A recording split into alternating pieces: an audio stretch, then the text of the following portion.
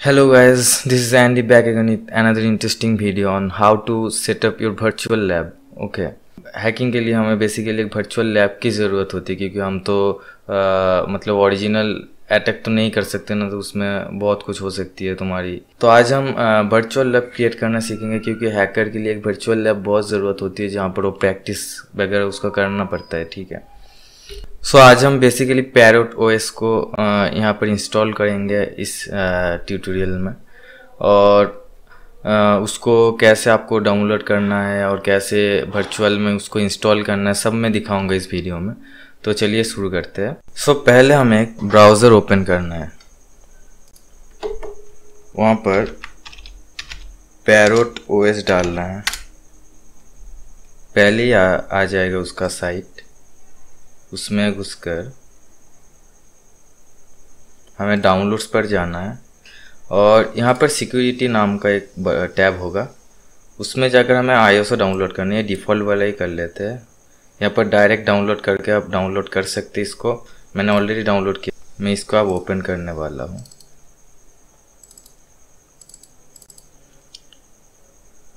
सो so, ये है मेरा वो आईएसओ जो मैंने डाउनलोड किया है। जो आपको डाउनलोड करने के बाद मिल जाएगा। सो so, ये हम वर्चुअल में इंस्टॉल करने वाले हैं ठीक है? हमें एक V M R work station की ज़रूरत है वो भी हमें मिल जाएगा। ब्राउज़र पे जाके V M R work station download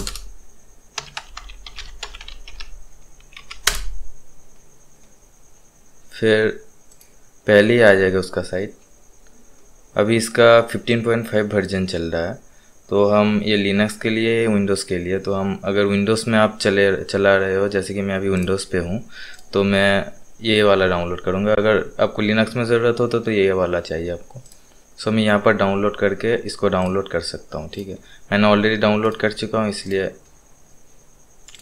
ताकि आपका टाइम बच जाए। फिर मुझे पहले वीएमआर इंस्टॉल करना है ठीक है? सो उसके लिए आ, मुझे इस फ़ाइल को इंस्टॉल करना पड़ेगा। ये बेसिक सिंपल स्टेप्स है जो नेक्स्ट नेक्स्ट करते जाइए और ये इंस्टॉल हो जाएगा जो आसान सी चीज़ है। सो so, मैंने आ, मैं आईएसओ इंस्टॉल करना सिखाऊँगा यहाँ पर। सो so, मैंने अभी ऑलरेडी इंस्टॉल कर चुका हूँ। सो so, इसको मैं ओपन करूँगा। सो बेसिकली मेरे यहाँ पर दोनों ओ एस इंस्टॉल कर चुका हूँ। तो अब नया ओ एस में इंस्टॉल करूँगा जो कि पैरट ओ एस है। तो अब मैं न्यू वर्चुअल मशीन पे जाऊँगा कस्टम पे जाऊँगा। नेक्स्ट नेक्स्ट एंड देन मुझे वो आई सिलेक्ट करना है, जो पैरोट का आई में, हमने डाउनलोड किया था। तो हम यहाँ पर जाके उसको सिलेक्ट कर लेते हैं। फिर यहाँ पर वो ऑटोमेटिकली इसको डिटेक्ट नहीं कर पाएगा, या कौन सी ओएस पे चल रही है, इसलिए हमें इसको मैनुअली डिटेक्ट करना पड़ेगा। और यहाँ पर डेवियन सिलेक्ट करना है हमें क्योंकि पैरोटोस डेवियन बेस्ट है जो आप यहाँ पर ब्राउज़र रन करके देख सकते हो।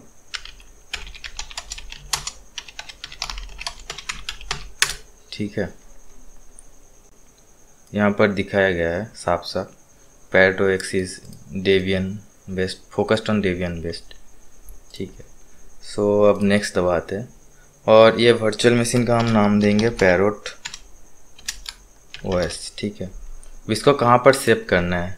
ये आप आ, अपनी मर्ज़ी से जहाँ पर भी चाहे सेव कर सकते हो इस वर्चुअल मशीन को।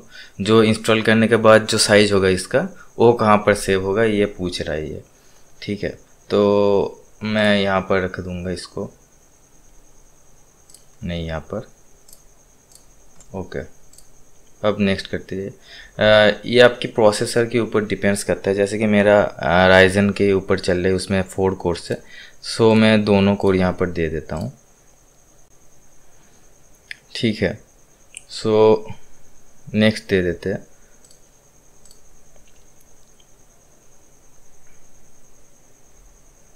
सॉरी यहाँ पर देना है आपको दोनों कोर्स ठीक है। अब नेक्स्ट देना है आपको। बेसिकली अगर आपका प्रोसेसर उतना हाई नहीं है तो आ, दोनों पे ही छोड़ दीजिए। मिनिमम दो दो आप रख ही दीजिए इसको। आ, क्योंकि अगर एक दे दे दो तो बहुत स्लो हो जाएगा। ठीक है तो अब हमें रैम सिलेक्ट करना है। इसका कितना रैम इसको लगेगा? जैसे कि उसका वर्चुअल में हम जो प्रोसेसर दे चुके हैं उसका तो अब हमें उसका रैम लगाना है। जैसे कि डिफ़ॉल्ट दो जी में रन हो, होगा। सो मेरा तो आठ जी बी रैम इसलिए मैं थोड़ा ज़्यादा दे रहा हूँ। आप अपनी रैम के मुताबिक दे देना इसको। जैसे कि मैं दो हज़ार दे रहा हूँ इसको। अगर आपका रैम चार जी है तो इसमें थोड़ी दिक्कत होगा। दो जी अगर आप इसको दे दे तो। ज़्यादातर विंडोज़ टेन फोर जी में चलाना एक एक हार्ड काम होता है।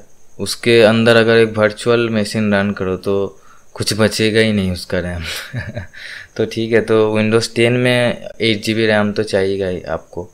और अगर विंडोज़ सेवन एट होगा तो उसमें चार जी बी में भी आप रन कर सकते हो इसको। पर पर उसमें रैम थोड़ा कम दे देना आपके मुताबिक। आप यहाँ पर प्रोसेस टक्स मैनेजर खोल के यहाँ पर देख लेना कि स्टेबल में कितना रैम आपको ये कंज्यूम कर रहा है, ठीक है? तो उसके मुताबिक दे देना यहाँ पर। तो स्टेबल अगर मेरा स्टेबल दो जी बी रहता है ऐसा कुछ दो तीन जी बी के आसपास रहता है तो मैं अगर इसको दो जी बी दे दूँ तो बहुत सारे रैम अभी भी मेरा फ्री रहेंगे। सो so, ऐसे आप एक कैलकुलेट करके देख सकते हो कि कितना रैम आपका फ्री रहेगा और कितना 80 परसेंट के ऊपर दे मत देना ठीक है? तो स्लो हो जाएगा। 80 90 के बीच में उसको मत रखना। 80 के कम देना उसको। मतलब आ, आपका वर्चुअल मशीन रन होने के बाद आपका रैम 80 में मत पहुँचने देना ठीक है? ऐसे कैलकुलेट करके देना आप। तो अब मैं नेक्स्ट कर जाऊँगा ये सब डिफ़ॉल्ट में ही रहने दो। अब यहाँ पर हमें डिस्क एलोकेट करना है। इसके लिए मैं तीस जी दे देता हूँ। ठीक है? इसको अगर आपका हार्ड डिस्क में स्पेस उतना ज़्यादा नहीं है तो आप कम भी दे सकते हो, पर मिनिमम पंद्रह जी आप दे ही देना, ठीक है। अब नेक्स्ट दबाना है हमें। नेक्स्ट अब फिनिश हो जाएगा ये। सो अब हम इसको रन करने वाले हैं, ठीक है। So power on the virtual machine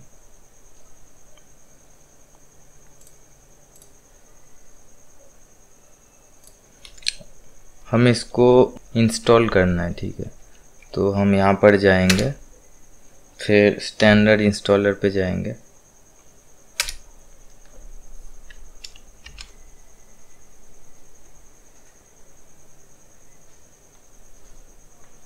जैसे कि वर्चुअल में रन हो रही है, उतने रिसोर्स नहीं है तो ये थोड़ा स्लो होगा आपके मेन कंप्यूटर से। पर एक आसान चीज़ किया है इसमें आप बहुत सारे ओएस रन कर सकते हो आपका रैम अगर कुछ अच्छा हो तो। तो मेरा यहाँ पर जो रीजन है मैं कीबोर्ड कॉन्फ़िगरेशन अमेरिकन में ही रखता हूँ डिफ़ॉल्ट और एक चीज़ की आपका अगर इंटेल का प्रोसेसर है तो बायस में जाकर आपको एक वर्चुअलाइजेशन टेक्नोलॉजी ऑन करना पड़ता है ठीक है? सो so, वो अब कैसे आपको पता चलेगा कि कहाँ पर है वो? तो यहाँ पर अगर सीपीयू में जाओ तो यहाँ पर ये यह दिखा रहा है वर्चुअलाइजेशन मेरा इनेबल्ड है। तो अगर इस, ये आपका डिजेबल्ड है ना तो इसमें ये ये वी में दिक्कत आएगी, ठीक है। तो बायस में जाकर अगर इंटेल का प्रोसेसर है तो वर्चुअलाइजेशन ऑन कर लेना। और अगर ए का है तो उसमें भी एक ऑप्शन है, ठीक है, वो आप इंटरनेट पे देख सकते हो, आपके मदरबोर्ड की टाइप के जैसा उसमें फंक्शनलिटी आती है। तो आप मदरबोर्ड की जो कस्टमर केयर है उसमें कांटेक्ट कर सकते हो और फोरम में भी देख सकते हो आपका मदरबोर्ड के मॉडल नंबर मुताबिक। सो so, मुझे यहाँ पर अब रूट पासवर्ड देनी है ठीक है? जो आप अपनी मर्ज़ी से दे सकते हो कोई बात नहीं। फिर टैब दबाना है और जब ही कंटिन्यू में आएगा अब एंटर दबाना है। फिर मुझे फिर से इसको रीटाइप करना जो पहले हमें पासवर्ड दिया है। अब कंटिन्यू दबाना है। अब हमें एक यूज़र खोलना है जहाँ पर हम काम करेंगे। जैसे कि हमारा न्यू यूज़र होगा सिलिकॉन ठीक है, आप टैब दबाना है कंटिन्यू पे लाना है। टैब दबाना है, ये डिफ़ॉल्ट रहने दो। अब यूज़र के लिए हमें पासवर्ड चाहिए। रूट के लिए एक अलग पासवर्ड होगा क्योंकि रूट रूट तो एक अलग यूज़र है, जो कि विंडोज़ में एडमिनिस्ट्रेटिव प्रिविलेज जो होती है लिनक्स में वो रूट होती है। ठीक है? तो विंडोज़ में अगर आप एडमिनिस्ट्रेटर हो तो आप कोई भी सेटिंग्स चेंज कर सकते हो। लिनक्स में भी वही है। अगर आप रूट प्रिविलेजेस आपको मिल जाती है तो कोई भी सेटिंग्स आप लिनक्स में चेंज कर सकते हो। ठीक है? तो अब अब नॉर्मल यूज़र जो है, वो मेरा सिलिकन है। उसका मेरा पासवर्ड पूछ रहा है। पहले तो रूट का पासवर्ड हमने दिया था, अब इसका पासवर्ड हमें पूछ रहा है। वो भी आप दो, दे दो अपने मुताबिक। कंटिन्यू कर दो। ठीक है। अब ये कुछ काम करेगा अपने अंदर। डिस्क वगैरह सब कुछ चेक करेगा, फिर इंस्टॉल स्टार्ट होगा। सो आप गाइडेड ही रहना दो क्योंकि वर्चुअल ये आपका सिस्टम में कोई इफ़ेक्ट नहीं करेगा। आप इसको जब जब चाहे डिलीट भी कर सकते हो कोई बात नहीं। आ, ये जो डिफ़ॉल्ट बोल रहे वही कर देना। अब यहाँ पर आप एरो की से यस में लाना। और एक बार देख लेना सब कुछ ठीक है? सो हम फिनिश कर रहे हैं अब यहाँ पर। अब इसको नो दबाना है। राइट चेंजेस पे आपको यस दबाना है। आप यहाँ पर इंग्लिश पढ़ सकते हो, वहाँ पर लिखा ही होगा, आप उसके मुताबिक यस नो अपनी मर्ज़ी से दे सकते हो, कोई दिक्कत नहीं। जैसे कि मैं बोल रहा था, ये वर्चुअलाइजेशन में रन हो रही है तो आपका सिस्टम में कोई फ़र्क नहीं पड़ेगा। जैसे कि मैं दिखा देता हूँ, ये अभी इंस्टॉल हो रहा है तो इसको टाइम लगेगा। जैसे कि मैंने अभी यहाँ पर इंस्टॉल किया इसको, ठीक है? तो ये पैरोट का जो फ़ाइल ये सब पैरोट का फ़ाइल है। तो ये वर्चुअल में रहेगा, ठीक है? तो ये आपका मेन सिस्टम में जैसे कि मेरा विंडोज़ टेन है, इसमें कोई चेंजेस नहीं लाएगा ये। ये सिर्फ़ वर्चुअल में ही काम करेगा। अगर इसको आप डिलीट करना चाहो तो यहाँ से भी कर सकते हो, ठीक है? ये डिलीट आ जाएगा इंस्टॉल करने के बाद, अगर आप सब कुछ सेट कर दो तो। तो आप डिलीट भी कर सकते हो, उससे भी कोई मेन सिस्टम में फ़र्क नहीं पड़ेगा। और यहाँ पर भी आप जो भी सॉफ्टवेयर वगैरह इंस्टॉल करो इस ओएस में उसमें भी आपका ये मेन सिस्टम कुछ फ़र्क नहीं पड़ेगा। इसको छोड़ देते हैं कुछ टाइम के लिए। सो so, इंस्टॉल होने हो जाने के बाद अब ये एक नोटिफिकेशन आएगा आपको जहाँ पर आपको यस दबाना है। फिर यहाँ पर जो डिवाइस है वो सिलेक्ट करना है एंटर दबाना है। और ये बेसिकली एक बूट लोडर इंस्टॉल कर रहा है यहाँ पर, जिससे इस ये ओ एस बूट करेगा रिस्टार्ट के बाद। तो अब ज़्यादा तक हमारा काम हो ही गया फिनिशिंग हो रहा है अब installation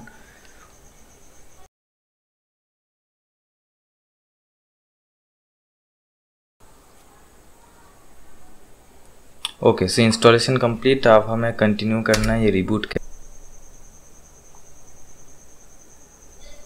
okay our installation is complete. Now it's going to reboot. इसको हम फुल स्क्रीन में ला लेते हैं। फ़र्स्ट टाइम रिबूट होने में थोड़ा ज़्यादा ही टाइम लगती है।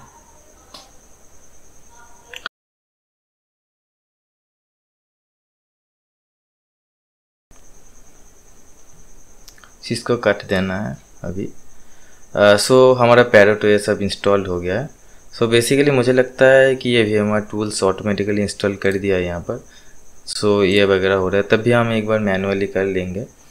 सो so, अब V M R tools install करने के लिए हमें यहाँ पर राइट क्लिक करना है। फिर अब यहाँ पर ये reinstall V M R tools दिखा रहा है मतलब इसका जो वी एम आर टूल्स है ऑटोमेटिकली पैरोट ने इंस्टॉल कर लिया है। सो so, हमें ज़्यादा दूसरी बार करने की ज़रूरत नहीं है। सो so अगेन uh, ये पूछ रहा है कि चेक फॉर अपडेट्स यहाँ पर नो कर दीजिए कोई दिक्कत नहीं है। Uh, हम ये टर्मिनल से करेंगे। सो so, हम अभी टर्मिनल ओपन कर लेते हैं। टर्मिनल में हमें sudo A P T get update दबाना है। ठीक है? सो so, ये मुझे पासवर्ड पूछ रहा है अभी। इसमें क्या होता है, ये होता है क्या क्या अपडेट होगा, ये चेक करता है क्या क्या अपडेट कर, करना होगा यहाँ पर। ये कमांड से ये चेक करता है क्या क्या अपडेट करना होगा हमें, ठीक है? ये कमांड से।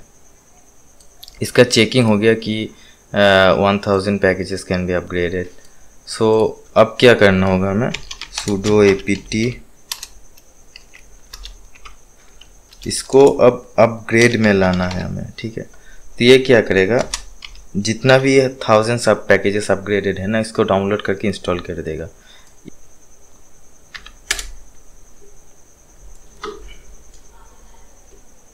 सो so, ये बहुत टाइम लेगा मुझे लगता है।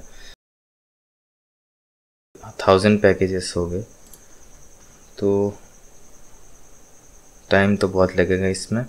सो so, ये अपडेट के बाद ऑटोमेटिकली इंस्टॉल भी हो जाएगा। आप एक बार रिबूट कर लेना यहाँ से। uh, यहाँ से रिबूट कर लेना।